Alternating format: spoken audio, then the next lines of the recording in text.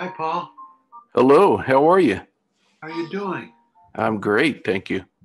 How are Good. you? Nice to see you. Nice to see you. Yeah. Sorry I'm a little bit late here. Have you ever had it where you're running a little late and somebody tells you they're running a little late? That's always the sweetest sound in the world. Oh, that's good. That's good. I'm glad it worked out for both of us. My wife was was brewing some coffee and I thought, you know, a cup of coffee would be perfect. Perfect. I'm glad. Well, enjoy. Well, thank you so much for making the time to do this. It's a pleasure to be here with you, Paul.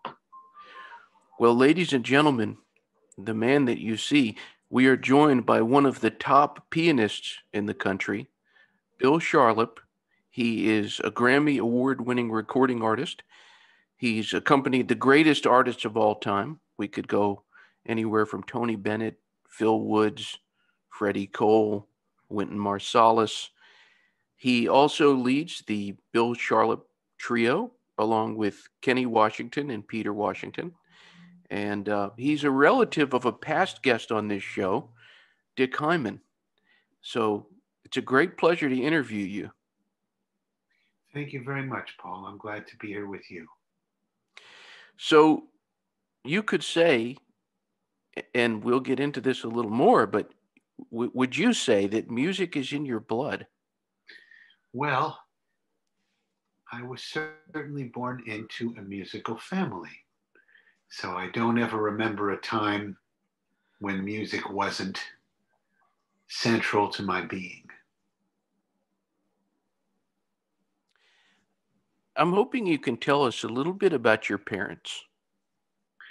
My father was Moose Charlap, and he was most famous for the score of the Mary Martin production of Peter Pan. Songs like I'm Flying and I've Got a Crow and I Won't Grow Up and Tender Shepherd, things like that. And he also wrote uh, many other scores, um, popular songs that were recorded by major artists like Sarah Vaughan, Joe Williams, Astrud Gilberto, Rosemary Clooney, Freddie Cole, many others.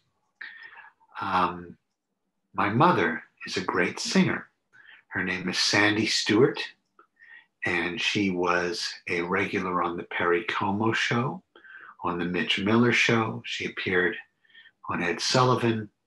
She toured with Benny Goodman for a number of years, and she was Grammy nominated in the 1960s for Kander and Ebb's first hit song, which was called My Coloring Book.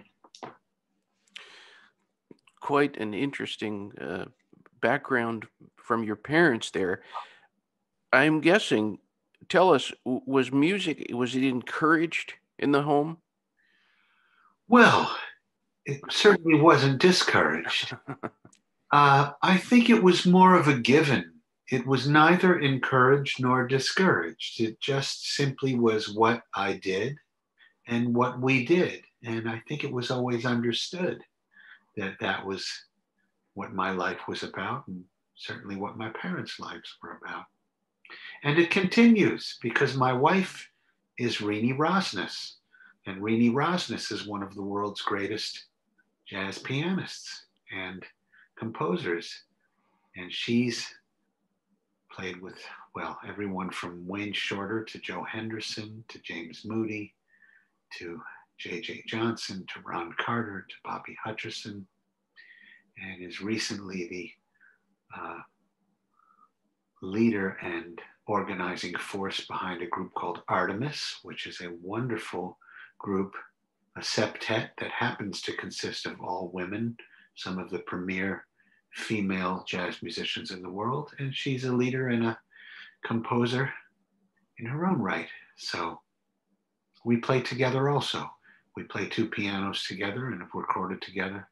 So music is all over the place. My brother, Tom Charlap, is a great bass player, and he's about 10 years my senior. He introduced me to a lot of music, a lot of recordings, and just by osmosis, I learned quite a deal from my brother Tommy. Well, I'm hoping we can get into Renee Rosnes a little bit and her work. I was listening to a lot of recordings of hers, and wow, such such beautiful work. Is it an advantage to have this much talent under one roof at your house? You always have somebody who knows a lot about music that you can say, "How does this sound?" What What is it like for you? Well, first of all, we're each other's partners and best friends, and we're married. So mm-hmm. that's first. Uh, and second, we have music, of course, which is central to both of our lives. So it's just a natural part of our communication. I wouldn't say it's separate, it's a, a continuous part of our lives. And we certainly do learn from each other. And uh, we may uh, lean on each other's perspectives if we're looking for another perspective, but mostly we simply respect each other and support each other's vision. This last year, 2020, was a, a very atypical year, to say the least. Yes. And as somebody who, a part of what you do is to frequently perform in public, has was there any realization that you had over this last year? Anything that came to you? I don't know if this is a unique perspective, but we miss everybody. Yeah. We miss the togetherness of one on one communication. One on one communication, just one person to one person in a small audience of 20 people, 123 people, or 3,000 people. We miss each other and we miss the people that we play with. We miss the community. So, of course, that's, um, like I said, not a unique perspective. I think everybody's gone through that. And the times that we've been able to play with our partners, our musical partners, have been really precious. I've been lucky in that uh, even in this time, well, you know, for me, this is not a lot of performances, but I was counting them up recently. And since March, perhaps I've done about about 16 performances. That's not a lot for our usual schedule. And it probably went down from within that time to now about 160 performances to 16 performances, something of that kind of ratio.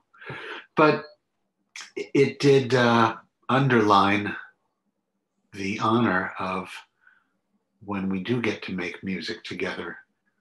Uh, but we miss performing because we miss communicating directly and on a very human level, not just to a camera, knowing that we are touching other people uh, on a human level. And that's that's real too. That matters you know you can feel that you care that people are watching and listening and you want to give.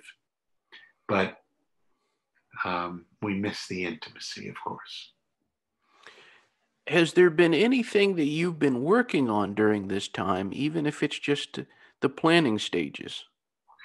Well I'm always doing the same things that I've always done, which is that I'm studying and I'm learning more about all of the music that I'm playing and learning more about my instrument and how to express myself more deeply on it, its history, what some of the masters of the instrument have done, thinking about music on a large scale, what my goals may be within my group. And uh, I've also been very fortunate in that I've continued to teach uh, in the capacity as director of jazz studies at William Paterson University. So I've been connected with many young and brilliantly talented students at the same time as this has been going on. So I've been able to learn from them and share with them my experience and uh, try to open some doors of imagination and discipline for them that can be useful. But specifically, I just keep working towards all of the things I've always worked towards. And I've had the time to really think about some more about the nuance of sound that I'm making at the instrument, uh, the nuance of a real art technique, meaning creating a vocal technique at the piano or a drum like technique, the nuance within the line, the uh, depth of rhythmic dynamic and swing at the piano. And swing doesn't necessarily mean uh, the traditional four to the bar within the stricture of the four bar or three bar or any metric number of bar um, divisions. But I do mean phrasing and the depth of phrasing that can come from not just connecting notes evenly or more percussively, but from the type of vocal and drum nuances that one tries to create as a player, and that all of the great, great improvising pianists and concert pianists have. So, doing a lot of listening from Earl Hines and Thelonious Monk and Tommy Flanagan and Red Garland and Sonny Clark and Jimmy Rowles and Teddy Wilson and Bill Evans. To the great concert pianists, Vladimir Horowitz, Glenn Gould, Sviatoslav Richter, uh, Martha Argerich, Ivo Pogorelich, Richard Goode, all of these wonderful giants and I've had some time to learn some classical pieces I've wanted to learn for a long time. And that's been very nice to have that luxury. Um, not talking about a huge repertoire or even really highly demanding technical pieces, although every piece is virtuoso, whether it's a Bach minuet or a Chopin etude. And, uh, but there is a, a couple of Brahms intermezzos I've always wanted to get closer to, and I have. A B minor adagio of Mozart. I've been playing a couple of the Chopin waltzes, one of the Chopin etudes, some uh, rediscovered uh, image, what are called the Images oubliées of Debussy that were only discovered around 1977, but are well known pieces now uh, and some other works, uh, not to mention just simply getting deeper into Mood Indigo and Angel Eyes. And I mean that in a, a profound way, really looking at the nuance of how they're built and uh, the lyrics and uh, how I can find a way to, uh, by boring towards the center of them, get closer to something that's meaningful and personal. Do you think that there is a possibility of a Bill Charlap classical album at some point? No. End of story. well, I'll tell you why.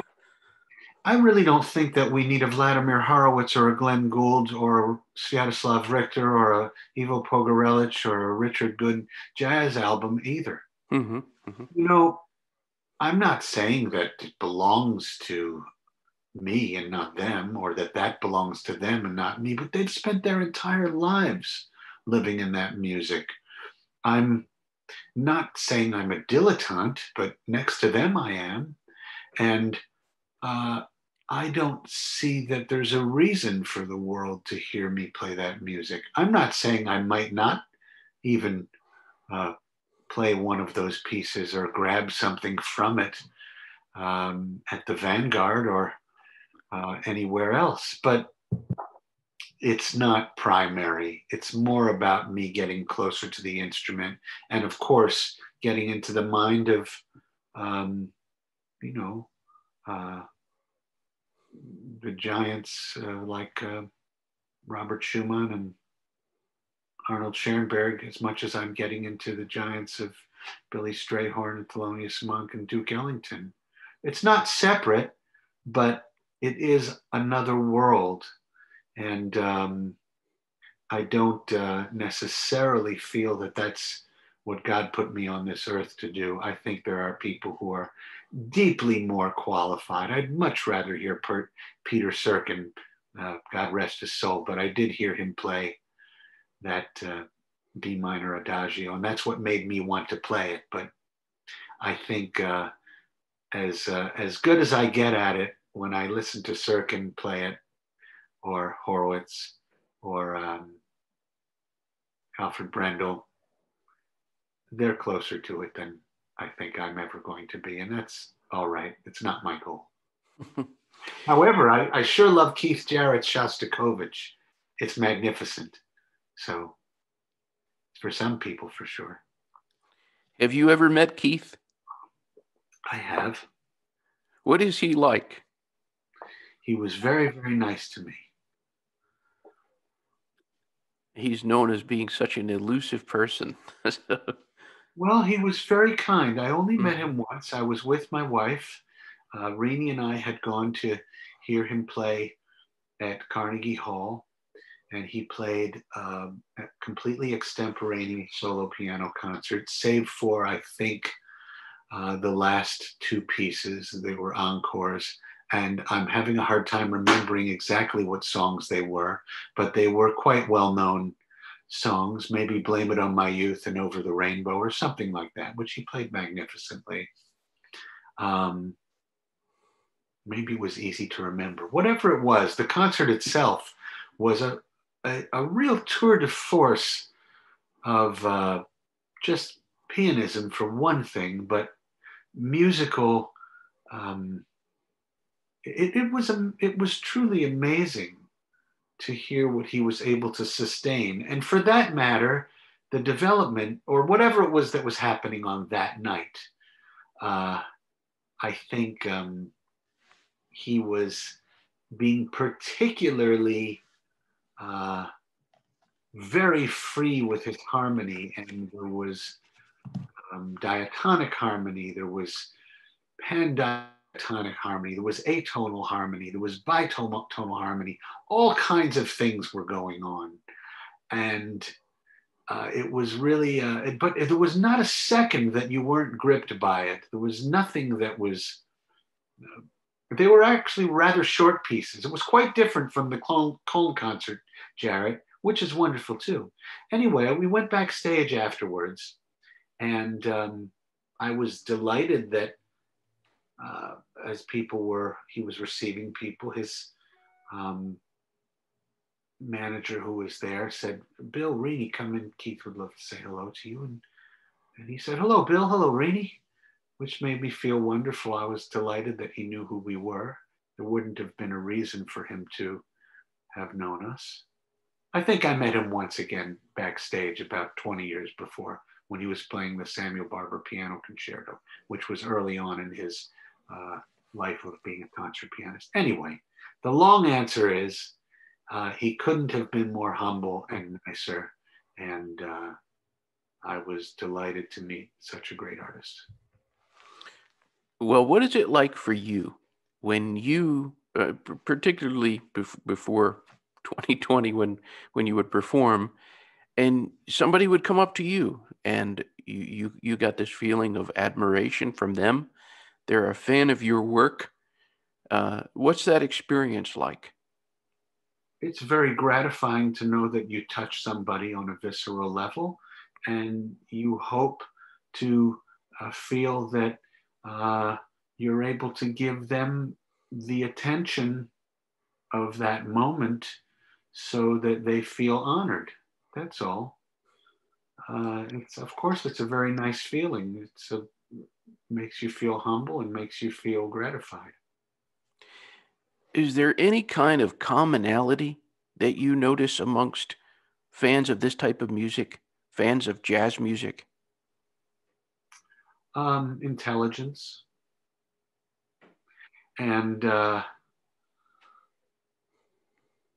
originality, you know, honesty, um, all kinds of people. Uh, there's no generation gap, and there's no, uh, there's just no gaps. There's no divisions. We're all part of the human race, uh, without sounding, um, you know, I don't know, uh, uh, false. Uh, that's, that's actually quite true. That's just it. You have a feeling of uh, uh, people who know how to listen, mm. and uh, perhaps, uh, I mean, that's been my experience. That's all. You know. You know, I've mentioned this a couple of times on on this show, but the last concert that I saw before everything closed and and you couldn't go to a concert hall was Tony Bennett and it was uh, February 14th Valentine's Day and then everything started to close down after that and a, a lot of times when I think about live music I think about it I'm so happy that I saw that it was it was quite a show to be the last show before everything closed and it, yeah. it's it's a happy thing but also sometimes I've thought about it and I just got kind of misty eyed, you know. And yeah, and I'm, I'm hoping you can tell us what is it like when you have seen people interacting with Tony Bennett? Is well, he looks in their eyes and he listens, and uh, he's very present and um, very communicative, and I think that uh, he loves to connect with people. That's why he um, is able, as a, a, nonagenarian, to communicate so beautifully uh, in a in a concert environment with three thousand people or just one to one. You know, he loves to sing, and he loves to communicate. He loves to tell a story. Uh, I've never seen him not uh, treat someone with uh, a fan with kindness. I'm hoping we can talk about the album uh, that you, that you produced with him, and is is he different to work with than other artists in particular? Well, remember that he's been doing this a long, long time, and he comes from an era where you would walk into the recording studio, the orchestra was ready to go, things were rehearsed. You had the greatest pros, both in the recording booth, in the orchestra, and in terms of orchestrators, in terms of musicians. And uh, they would walk in and do things in one and two takes. And that was it. They weren't sitting around and using um, uh, vocal manipulations and uh, programs which put people's voices in tune when they're not. Uh, I'm not saying that one would never use editing, but it was very, very rare, and only if there were a train wreck or something really necessary to have to be done.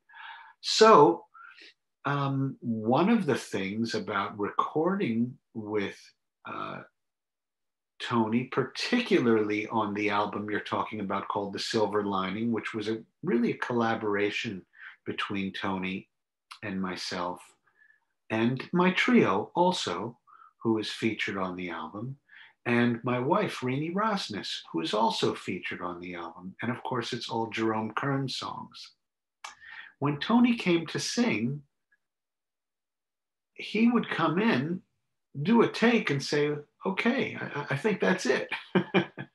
and we may say, Well, maybe let's try another just for fun to see what we get, not because we need something better. And here is the point I'm making they were never the same.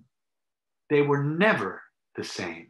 He would phrase differently. He might actually change notes within the melody in the beautiful way that he would, in the beautiful way that the greatest singers do, from Louis Armstrong to Billie Holiday to all of the great ones. And um, so, in that sense, it's the same for Gerry Mulligan or Phil Woods or Clark Terry or or uh, Benny Carter or any of the giants, Jim Hall. They give everything right away, and the feeling of being extemporaneous is very important. It allows for us to try to do what we're really trying to do when we make a recording, which is capture a moment of magic. You know, it's hard to capture a butterfly jumping off of a flower the second time and say, take two. It's going to be a nice jump, second time probably too, but it's going to be different. So, you know, you're trying to capture that magic. And to do that, you have to have the courage to take a risk.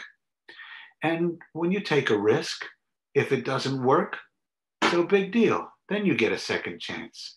But if you get comfortable with taking risks, you get better at getting there. And you also get better with accepting maybe what did come out might not be what you meant, but it's good too. And if you can get some perspective from that, sometimes you say, hey, that's pretty good. So, if anything, watching Tony work, I was watching and listening throughout the years. I was listening to a lot of experience uh, the experience of having already made many great classics and uh, many extremely good recordings, whether they were classics or not. So that was remarkable. Also, he liked to do things in my favorite way, the way a real jazz musician does. And he's a jazz musician in the sense that he's reacting to what he's hearing. He's not just singing what he's singing and you are weaving just a carpet behind him that he's on top of. If I play a chord, he reacts to that chord. If Renee plays a chord, he reacts to that chord. He reacts to maybe the nuance of the color and the dynamics and all of those sort of things. And for that, uh, when we recorded Trio, he was right there in the room. Nobody was in a booth. Nobody was isolated. Same thing, the two pianos, two pianos in the room. He stood right there in the middle. When it was just piano and voice, we weren't in a booth with headphones on. We were right next to each other. And uh, sometimes I'll hear engineers say, well, you're going to get a lot of bleed then. And I understand on a technical level, if you want to capture the instruments in the best way, possible. Sometimes you do need to have some separation, whether they're baffles or other rooms. But in our music, bleed is what you want. That's exactly what we want. We want to, uh, we want the blues and the reds and the yellows and the greens to bleed with each other. They have to touch sometimes to become another color that we didn't expect. Um, doing that record was a really a very easy thing to do because it was simply a matter of Tony calling me and saying, Hey, I want to do something together. What do you want to do? Should we do it as a duet or with your trio or with Renee? He was aware of all those things and he, he liked all of those different things. And I said, Well, he said, I like to do Jerome Kern. What do you think? I said, Sure, that makes absolute sense. You know, uh, he is really the pinnacle of the great American popular theater writers, the one that all, he came first. He's a little older than Gershwin, Kern, uh, Gershwin, Berlin, Porter, Rodgers, Arlen, Ellington. Um, and uh, um, he's a little bit older, and he kind of paved the way for the greatest popular songwriters and theater writers. So it made perfect sense. Plus, for me, there was a little extra musical thing which I was happy about. I learned those songs from two of my greatest mentors, who are the great pianist Dick Hyman, who I know you know well and have interviewed here, and uh, who was my mentor, and a distant cousin on my father's side, as you said. Um, and uh, my mother, Sandy Stewart. They made an album of Jerome Kern songs. So I grew up with those songs. So to now play them with Bennett. And also, uh, as he said, how do you want to do it? I said, well, why don't we do all three? That will make it special. And it will still be integrated it will be like orchestrating differently for each song. And for that matter, it's still family because Kenny and Peter are my family. We've been together as a trio for 23 years now, and Renee is my wife. And here we are doing Kern that I learned from my cousin and my mother. In a way, all of those things created some very nice synergy. But the idea was that depending on the piece, on the song, its lyrical content, and what rhythmic trajectory we're, we were going to give it, then that would dictate the choice of orchestration in terms of trio, duo, or solo duo performance. And uh, pretty sure that we made the date in two days, maybe three, because I think there was a snowstorm. So I think that we did the date, uh, I think we did the trio date in one day when they took breaks, we did the few solo tracks. And then we brought in the second piano, and Renee and I worked for a day. We were going to come back the next day, but I think there was a, a nor'easter. So we had to wait a few days and come back again. And that was that. You know, you said uh, we were hoping that magic would strike. Well, I know many, many people have told you all this, but when I was writing down notes for what I wanted to talk about in this interview, I wrote down look for the silver lining dash magic. Oh. Because you guys, it's just a it's just a, an incredible recording. Thank you. I, I'm proud of that album, and I know that he is too. And uh, what makes me happy about it is that I think each song is served. And of course, he sounds magnificent. The players played beautifully. The uh, harmonic underpinnings are the right colors for the lyrics and for the feelings of the songs.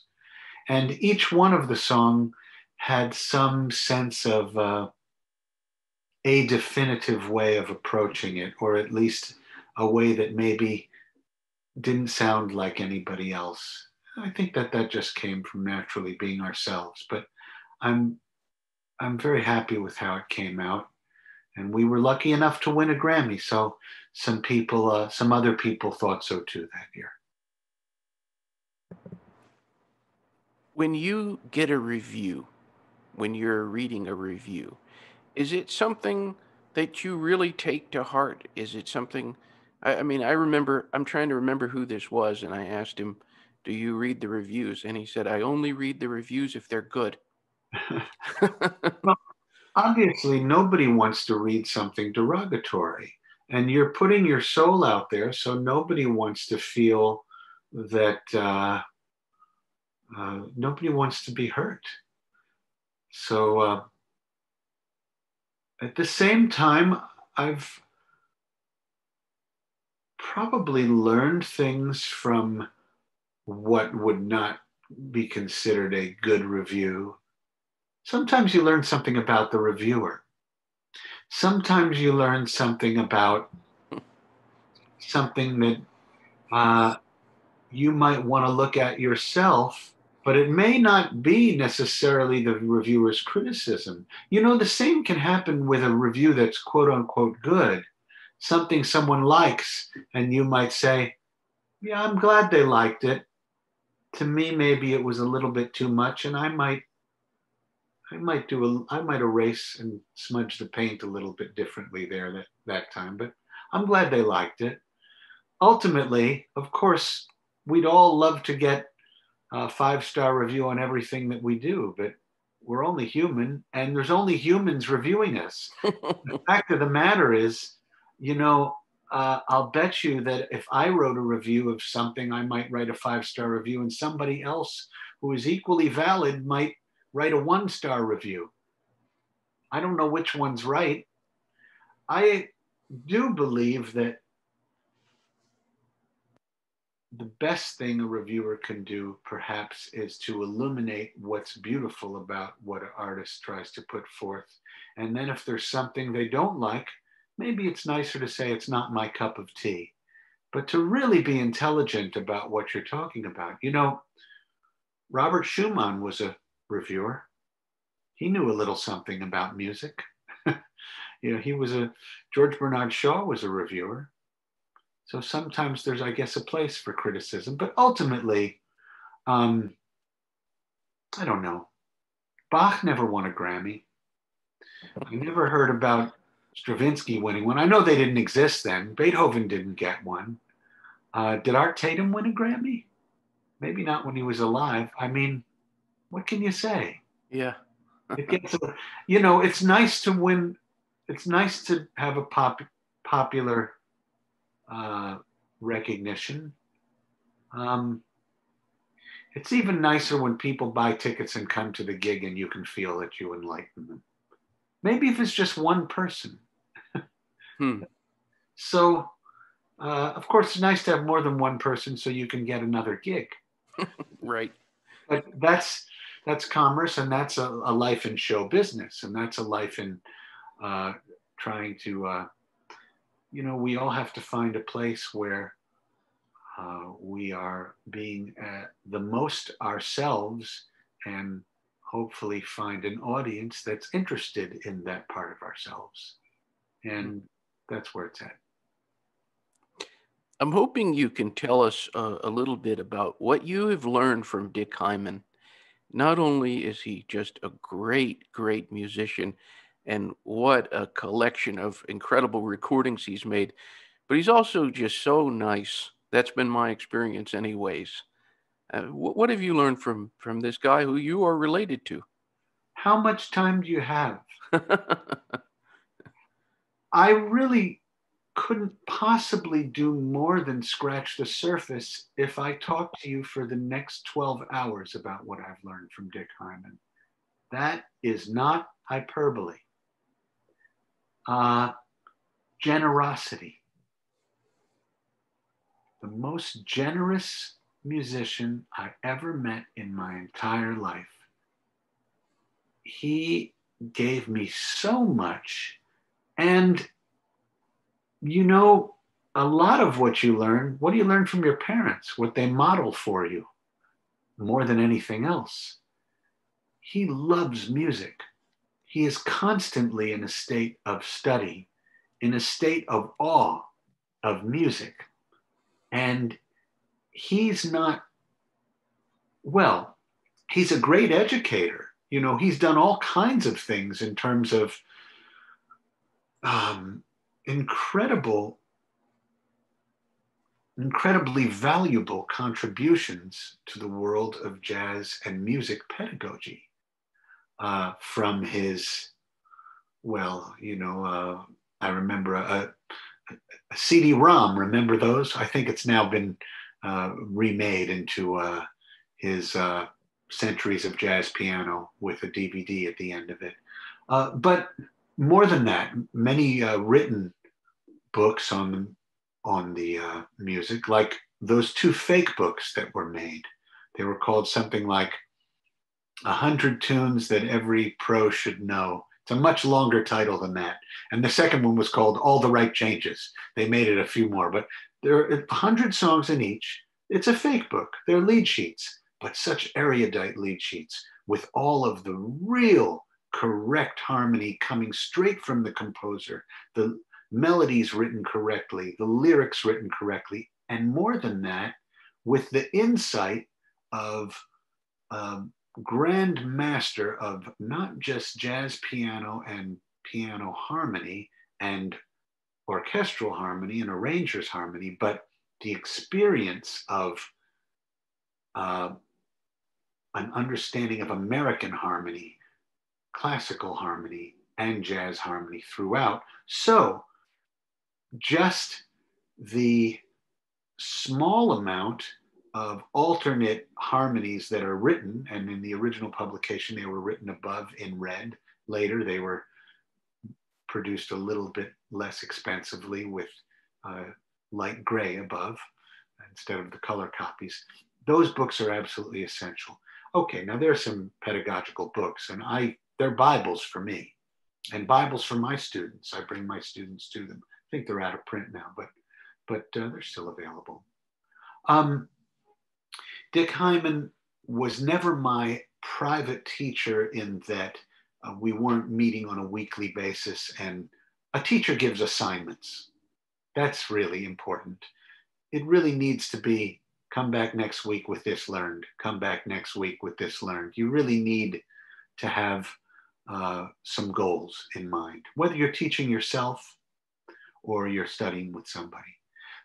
Dick Hyman didn't have the time to do that with me. He was way too busy in the studios, performing, composing, all kinds of, you know, he's such a polymath musically, everything from film scores to solo piano to jazz dates to uh, directing a major jazz series and performing all over the world. When I met him uh, when I was in my early teens, about 14 or 15, and went to his apartment and played for him, he uh, sent me to Jack Reilly, who was a great, great private teacher who really did give me graded lessons and take me um, from point A to point B, and was a, a great teacher and pianist and composer. But Dick Hyman was so generous in that he would invite me over all the time and play me records and play with me and show me things hands on, the old school way. You know, how do you do that? Well, let me show you. Let's play that together. Well, think about this. Lighten up your touch there. Uh, maybe you're moving a bit too much here. Listen to the, your line is very beautiful. Why don't you listen to the way Benny Carter plays these lines? Think about putting some more spaces in it. Hey, I'm doing a record date next week. Why don't you come along? Hey, I'm, I've written a ballet for Twyla Tharp. We have rehearsal next week. Come with me. Uh, I'm doing a film score for Martin Scorsese. Oh, can you go in the other room? Mr. Scorsese's coming over for a minute. I need to talk to him.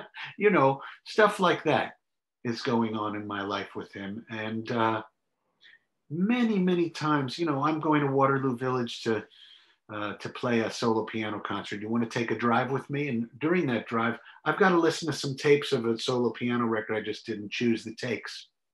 You can't get better lessons than that. And uh, you know the Shel Silverstein book, The Giving Tree, I'm sure. Oh, you know? yeah. Yes. Well, that's Dick Hyman. Hmm. And that's about how I feel about that. So I can't say enough about that type of generosity. And another thing here is a colossal force in music in terms of success, in terms of prowess, and in terms of artistry and everything else.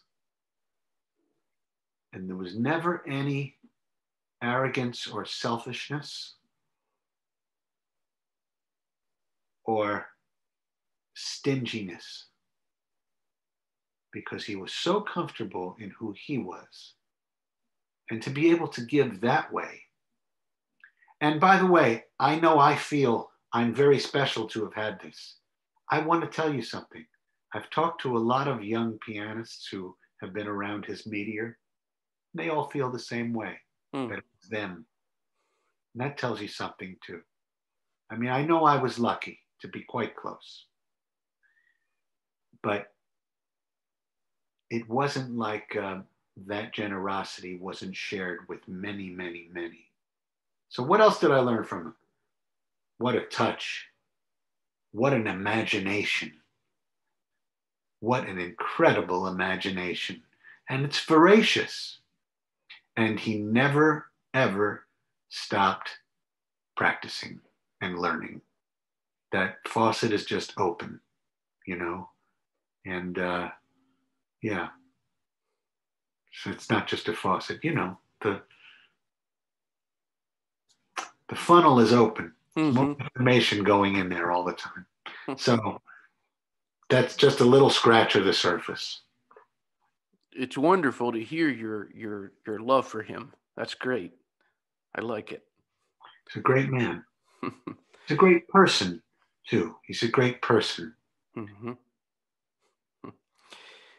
You've done so many of these albums where, following the the jazz tradition of finding a collection of songs by a certain composer. Hmm. This may be an almost impossible question. Could you pick a favorite composer? Probably not. But, you know, uh, to me, in terms of the great popular songwriters, there is a small Mount Rushmore of writers that are on that constellation, part of that constellation, uh, because their work is the most prolific and the most influential.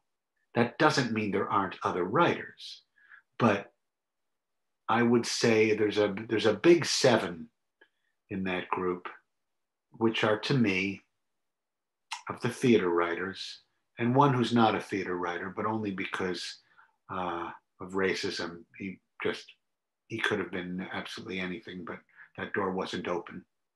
Um, Kern, Berlin, Gershwin, Porter, Arlen, Rodgers, Ellington. Now, there are more, of course. Uh, I don't even know if it's a next tier. It's just that maybe they're not quite as prolific, but Vincent Youmans. There's Arthur Schwartz and Howard Dietz. There's um, DeSylva Brown and Henderson. There's Burton Lane, Jule Styne, Cy Coleman. You know, there's a, a there's a, a Carmichael. It's a very large group. Uh, Billy Strayhorn. So, do I have a favorite? I've gone through favorites at different times. Mm-hmm. That's all. And they're favorites for different reasons at different times. I don't know what it's been about this last year, but I've just been gobbling up anything Irving Berlin. I've just been nuts about him lately. Can't go wrong. you cannot, no. Who is it that said Irving Berlin is not part of American popular music? Irving Berlin is American yes. popular music. Well, that's basically it. Yeah. It's so direct. And fa- fascinatingly, uh, of course, he wrote the lyrics and the music. And it's so natural and direct. And yet, Berlin can be uh, just quite simple, you know. I mean, quite theatrical, quite um, there's no business like show business, you know. Yesterday they told you you would not go far. Last night you opened and there you are. Right? Everything drips off, the words drip off the notes. But then Berlin, in his very quiet way, can write so deeply, lyrically, and melodically, uh, and harmonically, and put so much weight in it. I use an example like like how deep is the ocean? That's now, what I was course, thinking of. yes, well, and when you think about what he did lyrically and melodically, the blueness of it, the minorness of it, the release of it, the romance of that final release. And you know, the song really could be called How Much Do I Love You? How Deep is the Ocean is the italics. And of course, it's show business. And of course, it's a better song title and you're going to sell more pieces of sheet music with How Deep is the Ocean. And Irving Berlin was not against selling more music. He was a survivor in the best sense, a real American, a real P.T. Barnum. and uh, at the same time, the song is How Much Do I Love You?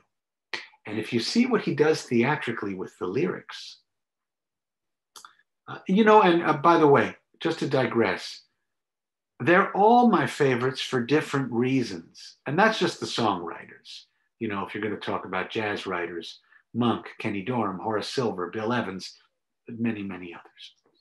But um, songwriters, for Berlin, what he does there, he says, How much do I love you? That's the exposition, right? That's bum, bum, bum, bum. How much do I love you? I'll tell you no lies, right? That's very direct. That's between a woman and a man, or a man and a woman, or a man and a man, and a woman and a woman. That's direct. That's two people. Then, really big picture how deep is the ocean? How high is the sky? Right? The metaphor is beautiful. And also, theatrically, you've got this how much do I love you? It's direct, eye to eye. Then all the way to the bottom of the ocean, how high is the sky? You have all those pictures. Then he goes back to the interior. How many times a day do I think of you? You know, when you're obsessed with someone, when you're in love, it's all you can do. You wake up in the morning, you wake up in the middle of the night, you think about them. Go to sleep, you're thinking about them. You're making a sandwich, you're thinking about them. You can't stop, right? How many times a day do I think of you? You're inside of me, you're in my interior. Now, how much do I love you? Between two. I'll tell you no lie. I'm being honest here. So I'm taking a risk. How deep is the ocean? How high is the sky? The great metaphor and the name of the song, right? The only line that's repeated. How many times a day do I think of you? The interior. Back to the earth. How many roses are sprinkled with dew? The earth, a rose, the fragility of a flower. Okay. Now, we're here, we're sitting at the table, eye to eye. How far would I travel to be where you are? That's pretty big. How far would I travel? Now we've gotten eye to eye.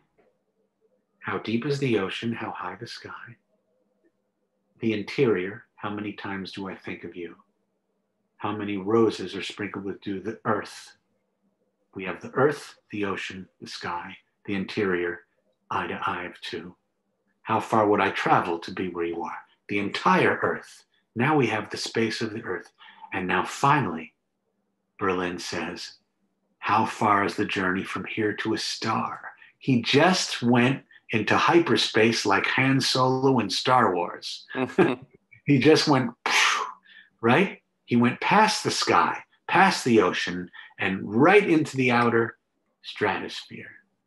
And then finally, Berlin does his great stroke of genius. And all of this is underpinned by the harmony and melody which colors just as beautifully as a Sorolla or a John Singer Sargent or a Zorn.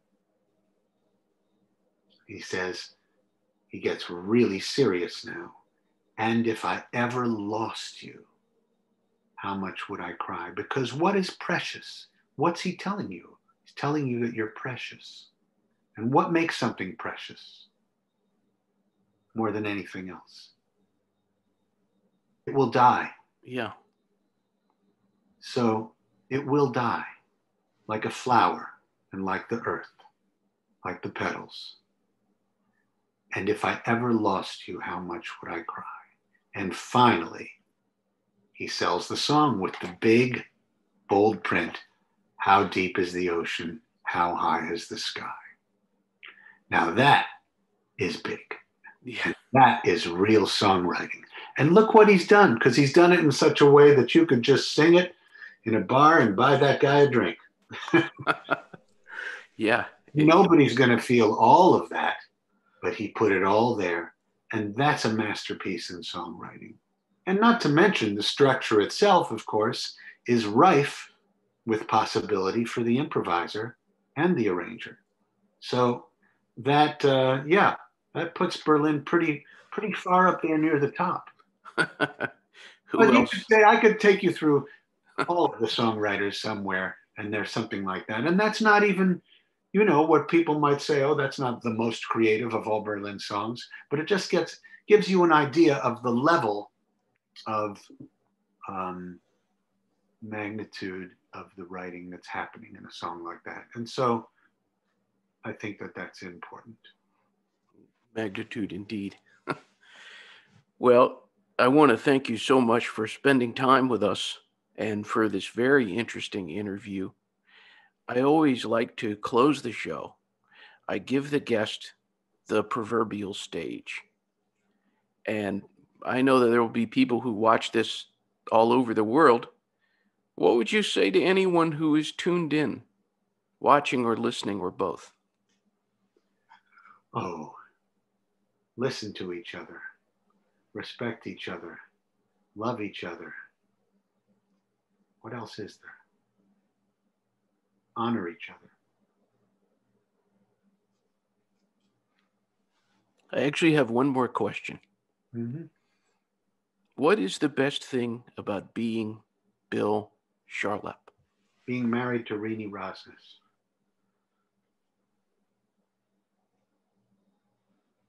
It's also pretty good having Vivian Charlap and Sophie Charlap and Dylan Drummond as my children. Hmm. Nice. Well, Mr. Charlap, thank you so much. Sandy Stewart is my mother. Oh, yeah. You can't forget that. And Kathy Charlap and Ann Charlap is my sisters, and Tom Charlap is my brother. Other than that, everything else is cool. Ladies and gentlemen, Bill Charlap, Thank you. thank you so much. Well, sir, have a wonderful day and thank you for this. Pleasure being with you, Paul. My pleasure.